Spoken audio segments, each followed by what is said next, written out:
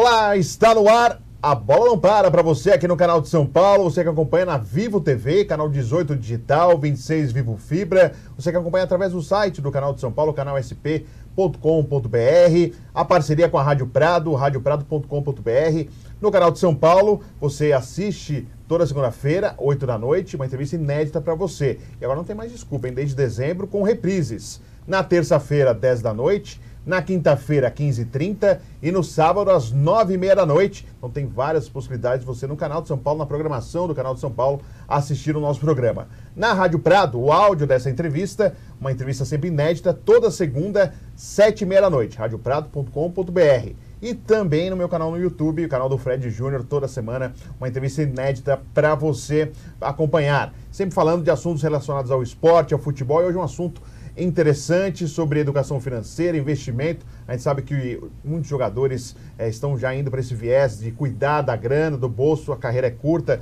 tem que aproveitar o momento e aproveitar o futuro depois é, da carreira. E tem aqueles que não cuidaram e agora se arrependem, né? Porque lamentam o dinheiro que foi perdido. E a gente tem vários exemplos, infelizmente, de jogadores que não souberam aproveitar tudo que conquistou ao longo da sua carreira. E eu estou aqui com o Henning Sandfoss, ele que é da Redoma Capital e vai falar um pouquinho sobre tudo isso, é, explicar para a gente e contar histórias e possibilidades e exemplos que servem para nós. Educação financeira é para todo mundo, para a gente cuidar do nosso dinheiro. Não é tanto quanto o jogador, mas a gente tem que cuidar do nosso dinheiro. Henning, prazer. Prazer, Fred. Muito obrigado por ter vindo aqui ao nosso estúdio. Obrigado você pelo convite. Legal.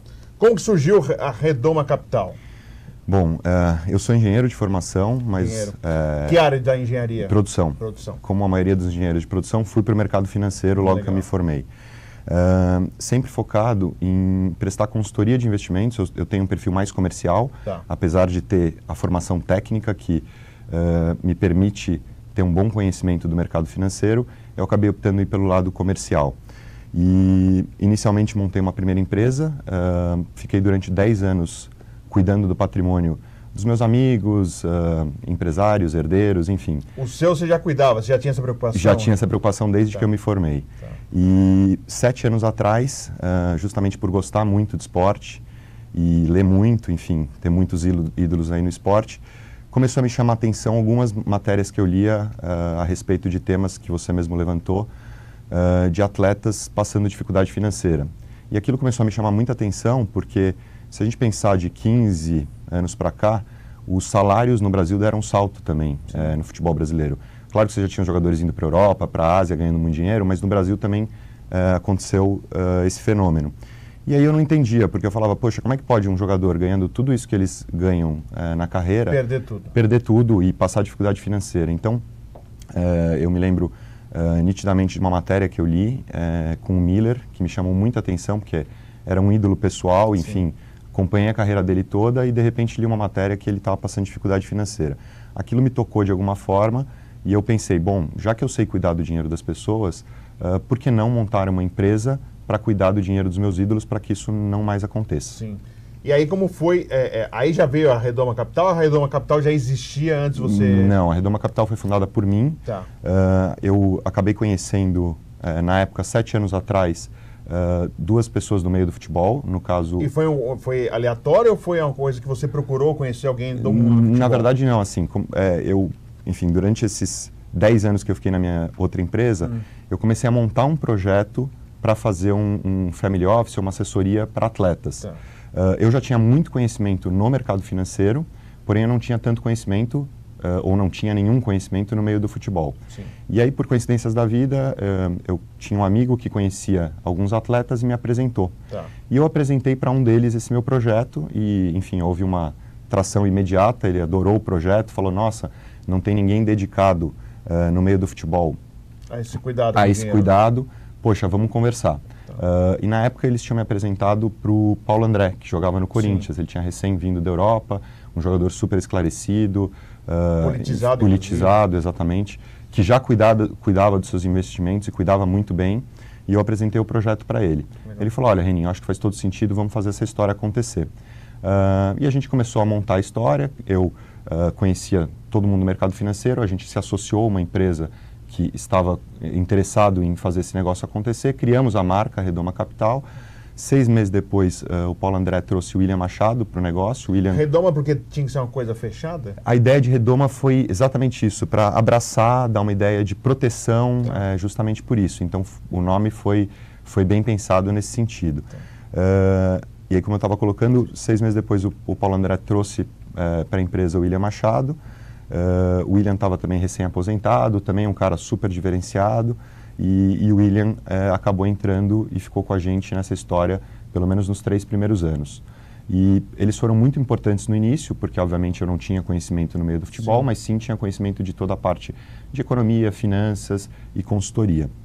Então eles que no início é, abriram a porta para a Redoma no meio do futebol.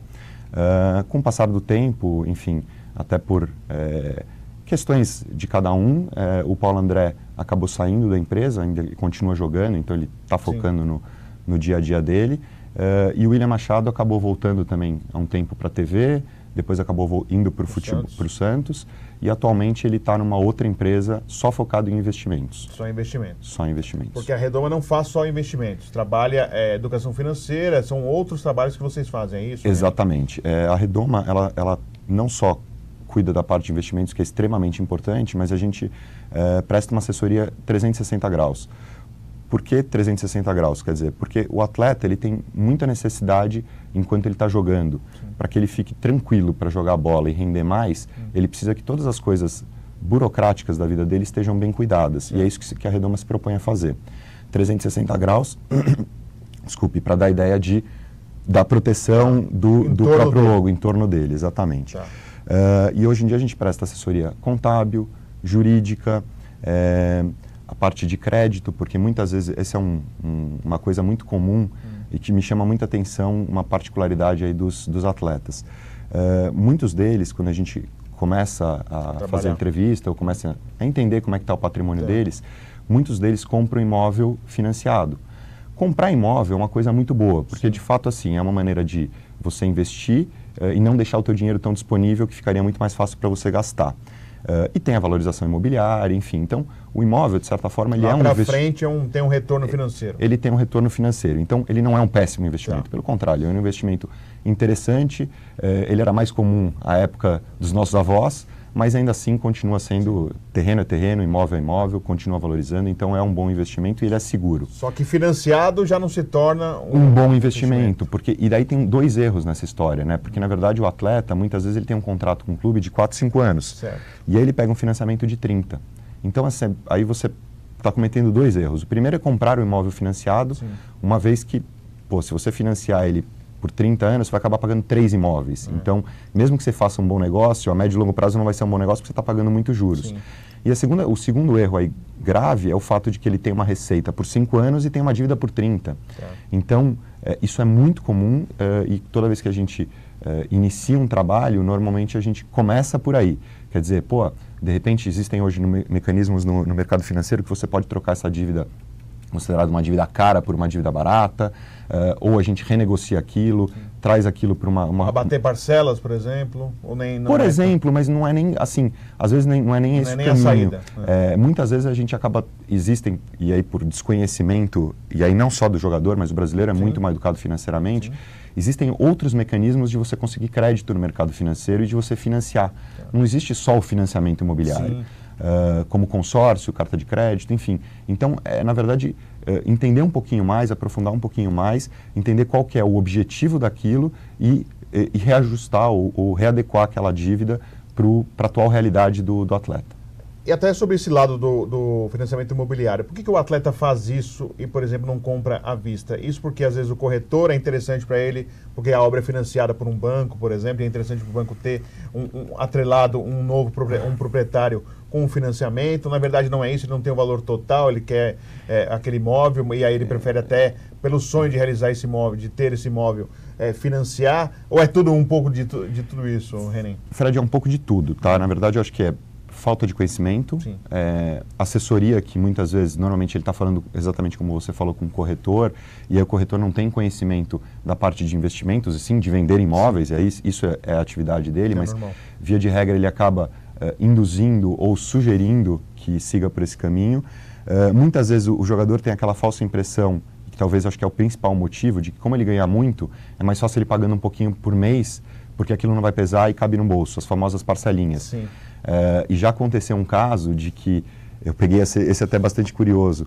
É, um atleta que falaram para ele, recomendaram que era bom investir em imóvel. Sim. E aí ele falou: Bom, já que é bom investir em imóvel, eu vou fazer o seguinte: Comprar vários. eu vou comprar vários e tudo financiado. E ele comprometeu 95% do salário dele em financiamento imobiliário.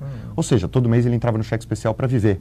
Sim. Então, assim, ele estava fazendo um investimento, de certa forma, bom, só que de uma forma errada, e de repente ele compromete todo o salário gerando um dele. prejuízo pra gerando um prejuízo para ele. Então, assim, ele fez tudo errado. É, enfim, isso acontece por falta de assessoria, por falta de conhecimento. E é enfim. tudo reversível ou tem casos que não. Não, tudo, Tudo. tudo. é reversível, assim, Tá. é, enfim, a gente trabalhoso, tem, mas é, é trabalhoso, exatamente. Tem, tem casos às vezes que a gente pega ah, e leva dois anos até reestruturar a vida daquele cliente, quer dizer, é um jogador com uma baita de uma receita, mas de repente você pega ele inteiro endividado. Sim. Aí você não entende por quê. Você fala assim, mas peraí, você está ganhando esse salário aqui monstruoso há 3, 4 anos, como é que você está nessa situação? Aí ele vai te contar as coisas, ah, tem sempre um entorno que é bastante complicado, tem- eles ajudam muitas Tadinho. pessoas, ah, então assim, eh, não que eu não ache que tem que ajudar, eu acho que tem que ajudar, mas acho que tem que ter regra para ajudar, que é isso que a, a, a Redoma se propõe, quer dizer, organizar essa ajuda.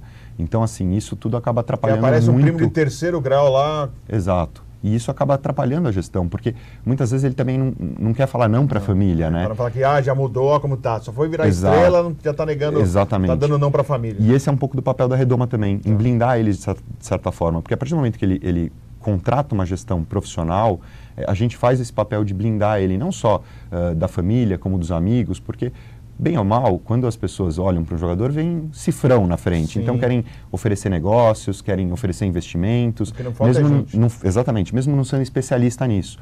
Então o papel da Redoma é justamente blindar eles dessa forma para que eh, a gente faça essa análise. Então toda vez que eles recebem alguma coisa, é muito comum que ele chegue para mim e chegue para o próprio amigo e fale assim, olha, muito bacana, mas eu tenho um consultor financeiro, eu vou passar para ele, ele vai avaliar isso aqui e se for legal a gente vai entrar. Eh, e aí o, o chato da história passou a ser eu, que eu que vou dizer o não para o amigo dele ou para a família, Sim, enfim. sim. É mais ou menos nessa linha. E até sobre, você falou até no início, né? Poxa, antes de você entrar nesse meio, né? Como pode o cara ganhar tanto e ter perdido tudo? É possível, né, René? Você não cuidar, É por mais possível. sejam milhões que você imagina. A gente fica imaginando os zeros, fala, pô, esses zeros não vão acabar, acaba nunca, nunca. né? Mas pode acabar. Pode, Fred, dinheiro não aceita desaforo, né? Então, assim, é, não adianta nada você, eh, enfim, não se planejar, porque o dinheiro ele não é infinito, né? Quer dizer, ele é finito, então ele vai acabar. E se você gastar mal, não tem jeito, ele vai acabar. E a gente vê eh, inúmeros casos. Inclusive, quando eu iniciei a empresa, eu estudei bastante, a gente, eu, eu sou bastante focado Tá. nessa parte do- de educação financeira, então fui um pouco mais a fundo para entender o porquê que acontecia isso com, com os atletas. Porque aí, gente, até cortando você um pouquinho. Imagina. René, tem uma de Jô Soares, né? Não, não, fica tranquilo. Mas só cortando rapidinho, porque nos Estados Unidos, por exemplo, Evander Holyfield, que ganhou diversos Eu ia chegar nesse ponto. boxe, Mike Tyson, Eu ia chegar nesse ponto. entre outros atletas que ganharam até muito mais vezes que alguns jogadores que você possa ter analisado, Exato. quebrados.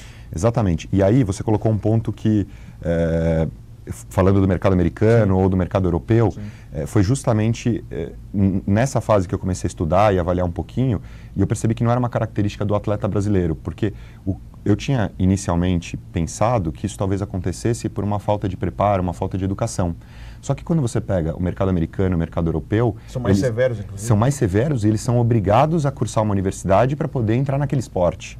Então, assim, ali tem educação e ainda assim os índices são os mesmos. Porque quando você olha, por exemplo, aqueles índices da Sports Build, que faz bastante pesquisa sobre isso, mostra que, se eu não me engano, 60% ou 70% dos atletas no mundo têm problemas financeiros após a carreira. Então você vê que é uma característica do atleta.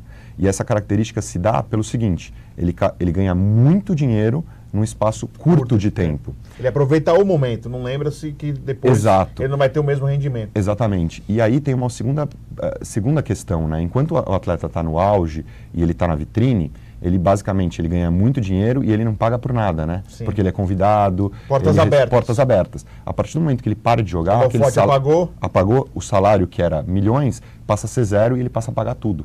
Então muda muito de figura, isso normalmente dá um baque E na ele cabeça continuou com o dos- mesmo ritmo de vida quando jogava. Exatamente, exatamente. Então é exatamente por isso que acontece eh, esses problemas, porque se ele não se planejar para que quando ele encerrar a carreira ele mantenha o mesmo nível de vida, é humanamente impossível, porque senão o dinheiro acaba. Legal.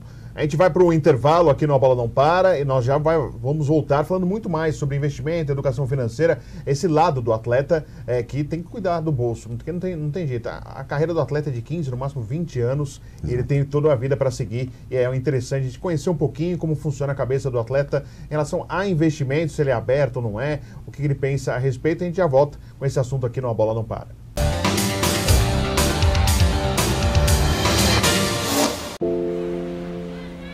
Foi nesse quarto que Pedro viveu nos últimos meses.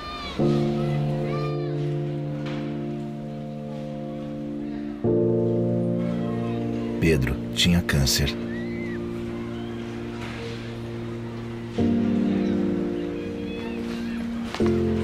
Não tem mais.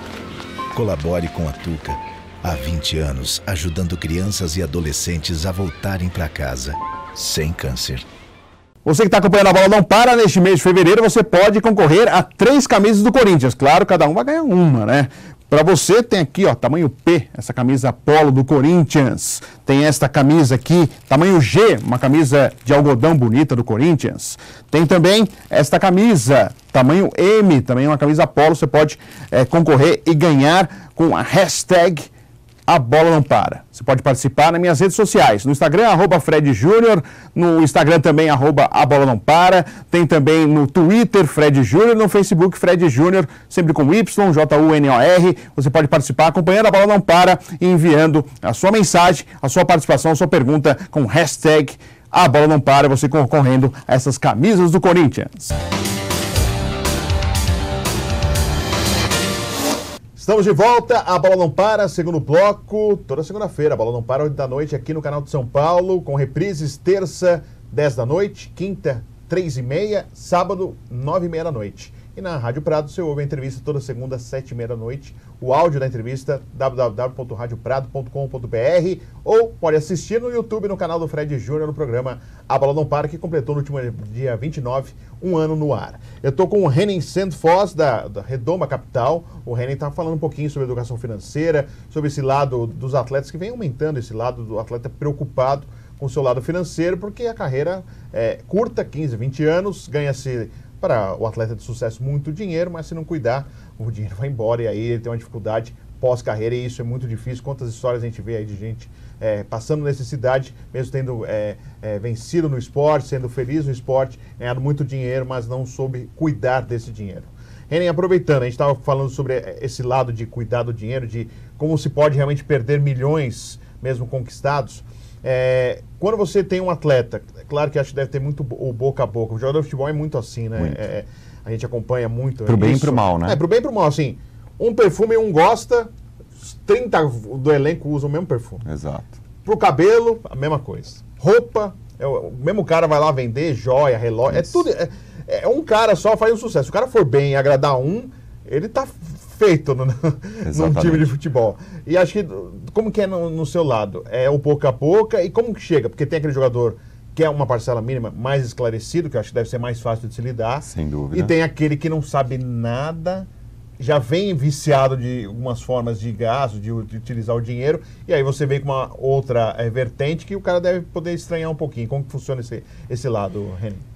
É, bom, a abordagem ela é muito caso a caso, obviamente, como você mesmo colocou, tem alguns atletas que são mais esclarecidos e sem dúvida nenhuma esses são mais fáceis. Tá. Até porque eles já vêm com alguma demanda pré-definida e aí a gente só ajusta aquilo para uma realidade. Uh, tem outros casos, por exemplo, que a gente tem alguns casos hoje dos estrangeiros que vêm jogar no Brasil. Brasil. Esses já são casos que a gente precisa fazer absolutamente tudo, tudo, porque ele não conhece absolutamente nada no Brasil. Então, aí vai desde putz, é, alugar a casa do cara até efetivamente cuidar da parte de investimentos, uh, fazer remessa, porque normalmente eles... Pagamento de banco também? Você... Pagamento de banco também, então tem casos que a gente chega a fazer... Uh, dia a dia bancário. Dia a dia bancário, uh, toda a parte burocrática de cartório, documentação... tanto, isso vale tanto para o estrangeiro que vem para o Brasil, quanto o brasileiro que é expatriado. Quer tá. dizer, a gente tem todo esse cuidado de tomar, uh, fazer toda a parte burocrática para que ele faça tudo correto. Porque, na verdade, assim, um grande problema que a gente percebe é, com os atletas, por exemplo, os brasileiros que são expatriados, são que a grande maioria é mal assessorado desde a saída. Então, eles, por exemplo, uh, não têm nenhuma preocupação em relação ao imposto, como é que aquilo vai ser, como é que vai ser o tratamento a partir do momento que ele é um não residente? Você precisa fazer uma declaração de saída definitiva? Sim. Como é que você passa a cuidar da questão do, do fiscal a partir daí? Tá. Então a gente orienta tudo isso e obviamente cada lugar que o atleta vai tem um tratamento fiscal por conta da, da legislação com o país, enfim. Então a gente tem que estudar tudo aquilo e ir bem a fundo. A grande maioria a gente tem ido recorrentemente visitar nossos clientes fora e a gente percebe que aí 60 que uma média de 60% a 70% dos atletas que estão expatriados não tem a menor ideia que deveriam ter feito uma declaração de saída, não, nunca fizeram, às vezes tem jogador que está 5, 8 anos lá fora, não tem a, a, a, menor ideia de como é que remete esse dinheiro oficialmente para o Brasil, que você precisa fechar um câmbio, uh, enfim, tem que fazer todo o procedimento. E eles fazem como? Enfim, de, de, das maneiras mais é, absurdas que você puder imaginar. Ainda se utilizam em muito... valores? A questão de valores não é assim. Não, não, não valores, eu digo assim, é, em moeda mesmo, com dinheiro, por Isso, com, eles vêm às vezes com saca moeda. o dinheiro, vai. Saca o dinheiro, uh, às vezes manda por doleiro, às vezes manda pela família. Então, assim, eles acabam se utilizando de outras, outras maneiras que não são as corretas. Uh, e, e, e aí a gente tem dois problemas, né? Porque eles são pessoas públicas e aí a partir do momento que eles estão fazendo uma coisa errada, aquilo pode tomar uma proporção muito grande. Maior. Como aconteceu em casos recentes, como com Cristiano Ronaldo, Sim. com o próprio Neymar, Sim. enfim. E aí aquilo, de certa forma, é muito ruim para a imagem deles. Claro. Então, uma preocupação que a Redoma tem é sempre com essa questão uh, de se eles estão fazendo a coisa de acordo com a legislação tá. e seguindo os caminhos corretos. Então, é sempre essa orientação uh, da Redoma. A Redoma é bastante caxias desse sentido, para que a gente oriente da melhor forma possível, eles sempre sigam o caminho correto. E o atleta estrangeiro, ele tem um conhecimento maior e melhor do que o atleta brasileiro, de certa forma, ou é, é igual, Reni? Uh, eu acho que, na verdade, não é uma questão do estrangeiro ou do brasileiro aí, tá? É uma questão realmente de formação tá. muito, eu acho que é muito particular, né? Quer dizer, tem atletas que, cada vez mais, hoje em dia, com, pô, com tudo online, quer dizer, as pessoas buscam mais informação, Sim. são mais interessados, então eles vão se aprofundam um pouco mais. E obviamente tem muito uma questão também de formação familiar, tá? Ah. É, às vezes a gente tem essa sensação porque talvez é, a formação familiar fora talvez seja um pouco melhor, talvez por a questão de, você, de, o, de o estrangeiro ser obrigado a fazer uma universidade, mas isso também não é em todos os países. Sim. Então isso é meio relativo. Então às vezes você pega casos de estrangeiros que estão é, assim, mais antenados, mas também hoje em dia tem, tem bastante jogador brasileiro que, como você mesmo colocou no início da entrevista, cada vez mais eles estão preocupados Buscando, né? com isso e buscando isso, inclusive porque eu acho que é, eles leem bastante e percebem que é uma coisa recorrente, que isso acontece, diversos atletas tiveram esse problema no passado, vira e mexe, sai na mídia novamente, chama a atenção deles ah. também, então acho que cada vez mais, e aí eu acho que até não é só o jogador. O brasileiro está buscando um pouco mais de educação financeira, cada vez mais, para entender, porque eu acho que assim, a, a, nossa independência financeira, ela depende tanto do nosso trabalho como de um bom cuidado. Se você cuidar bem do seu dinheiro, no mínimo você antecipa a sua aposentadoria. Sim. E, e Renan, claro, esse cuidado com o dinheiro, eh, vocês têm e trabalham com isso, mas às vezes o jogador, a gente sabe normalmente, o primeiro salário que o cara ganha um pouco mais alto, o cara quer comprar um carro, dar uma, uma, casa para a mãe. Sem dúvida. Mas sempre tem essas coisas, né? Um carro, e o carro não é um carro barato, é aquele Sem super carro. O... E aí, vocês trabalham com isso também? O cara fala, ó, eu tô com dinheiro, mas eu tô querendo comprar um carro, sei lá, melhor você não fazer isso, faz... tem esse lado? Tem esse lado também, quer dizer, a, a, a Redoma se propõe a ajudar ele com essa assessoria 360 graus, justamente também para ele gastar bem o dinheiro dele. Tá. Porque, na verdade, o que, que acontece? O problema não é gastar. O problema é, é gastar uh, de uma forma errada uh, e sem, muitas vezes sem pesquisar, ou muitas vezes por ele ser jogador de futebol, a pessoa que está vendendo para ele acaba colocando um sobrepreço, acaba, uh, enfim, não facilitando na forma de pagamento. Então, o papel da Redoma, nesse sentido, é blindar eles, tanto na contratação de serviços como na aquisição de bens. Porque o jogador, muitas vezes, ele é muito explorado. Então, às vezes, poxa, ele quer fazer uma reforma na casa dele, aí chega o prestador de serviço então, lá, vê que, é, vê que o jogador quer cobrar três vezes mais. Então, assim, uh, isso não está certo, é. entendeu? Ele, ele, ele trabalha, se dedica, soa para ganhar o dinheirinho dele e, poxa, não é porque ele ganha um recurso maior que ele tem que ser eh, explorado. Uh, explorado. Então, o papel da Redoma nesse sentido é blindar ele e isso a gente faz muito bem. Quer dizer, a gente faz tem hoje uma rede já de fornecedores que naturalmente trabalham com a Redoma e uh, tem preços justos e ainda concedem descontos por conta do volume uh, e muitas vezes quando a gente tem que ir atrás de novos prestadores de serviço, a gente terceiriza aquilo, mas a gente faz uma pesquisa para buscar sempre a melhor condição para o nosso cliente. Porque a gente está na ponta onde a gente quer que o cliente guarde mais. Então, obviamente, a gente tenta ajudá-lo a gastar da forma mais consciente possível. Uh, mas é muito natural e, e, e, e, a gente percebeu isso e teve essa, essa sensibilidade de não ser o chato da história e falar para o cara que ele não pode gastar. Tá. Especialmente os jogadores que estão iniciando a carreira. Porque ele vem com uma, uma, um consumo muito reprimido. Sim. Então ele tem a necessidade de comprar, como você colocou, o primeiro carro, uh, dar uma casa para a mãe, Uh, enfim, então eles têm, eles têm essa necessidade. Então, a gente, pelo menos nos dois primeiros anos, são anos normalmente que eles, eles acabam consumindo mais e a Redoma entra para ajudá-los a cons consumir conscientemente. Tá. É, uma onda, por exemplo, que acontece muito aqui em São Paulo, os jogadores estão comprando muito imóveis em Alphaville para morar. Isso. Então, o jogador treina na academia de futebol no Palmeiras, no CCT da Barra Funda. Não é, não é próximo já na Lapa. Não é próximo. Quem treina no Corinthians, então, mais ainda, mais, mais longe, longe ainda. Você vai para outra marginal são ondas que acontecem. Isso. Tem época. É, é, vocês veem isso também? Se de alguma forma vocês tentam ajudar? Porque não era assim. Antigamente eles moravam mais na região de Perdizes, isso, quem entrava no São Paulo e Palmeiras, Corinthians na região do Tatuapé, Anália Franco ali. E agora está esse negócio de Alphaville. Você vai ver, o jogador está em Alphaville. Exato. Claro, eles buscam uma privacidade maior, a família tem um, um lugar mais tranquilo e tal. Mas se a gente pensar, não o lado só financeiro, mas o lado da saúde, de você estar tá no trânsito, indo e voltando para um, um treinamento em Alphaville, não sei, não sei se torna-se um bom negócio no final, né? Mas o que, que, você vê desse lado? Essas, esses bons que acontecem. Mas eu acho que assim, via de regra, o atleta que ainda está uh, em atividade, ele não deveria se preocupar tanto em ficar adquirindo imóveis, pelo menos imóveis residenciais, os imóveis que eles vão utilizar para eles. se eles tiverem imóveis residenciais para renda, ok, isso faz Legal. todo sentido. Uh, imóveis que eles comprem visando investimento, visando um desenvolvimento imobiliário, visando renda, eu acho que isso tudo é super bacana, é super válido e eu acho que é uma composição do investimento.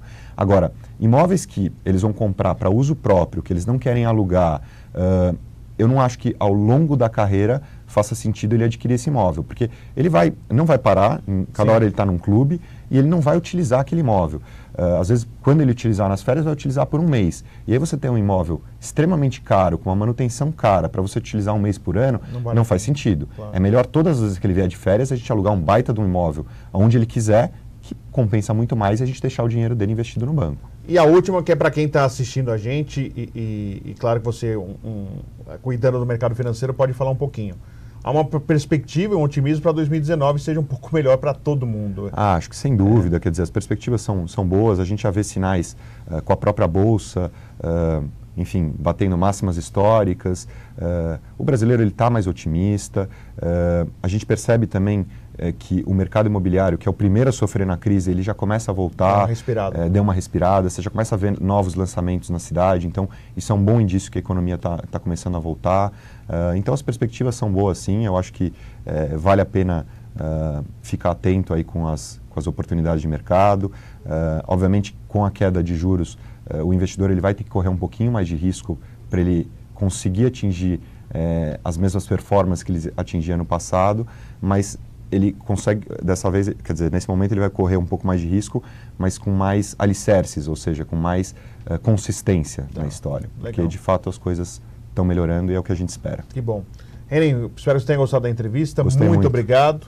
Até obrigado a próxima. Sucesso para você. Obrigado. Muito obrigado. Legal. Foi um prazer. Agradecendo o Renan Sandfoss, ele que faz parte da Redoma Capital, participando aqui do A Bola Não Para, é, que toda segunda-feira tem uma entrevista inédita falando de esporte de futebol para você. Fica o convite, reprises terça, quinta e sábado e também no canal do YouTube, no canal do Fred Júnior, você pode acompanhar mais uma vez essa entrevista. Um grande abraço a todos, até a próxima, tchau, tchau.